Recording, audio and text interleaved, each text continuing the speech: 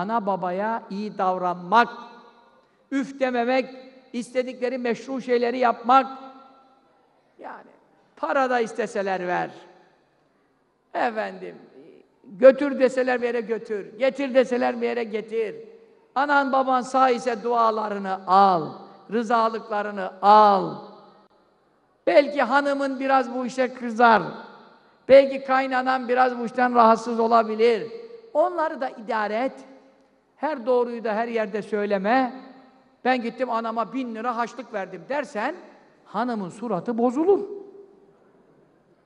Bunu bilmek için evliya falan olmak lazım değil.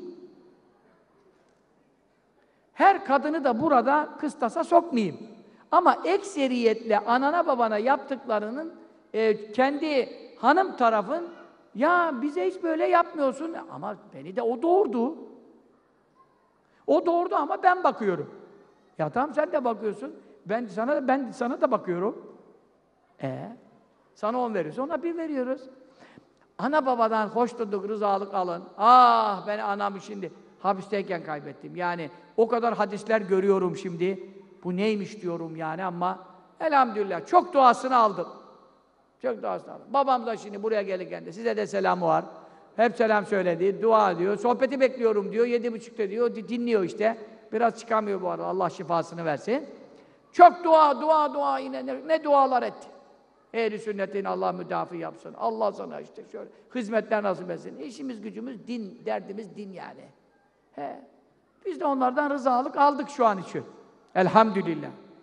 Sizde de böyle bir durum varsa ama kaça patlarsa patlasın, neye mal olursa olsun, kim darılırsa darılsın, darılan yatağına ayrı sersin, ana baba en ön planda olacak. Rızalıkları çok mühim. Bak, mezarda hanımına yaptığın iyilik, kaynanana, kayınpederine yaptığın iyilik demiyor. Anne babana yaptığın iyilik gelecek diyor. Anladın mı? Onlara da yap.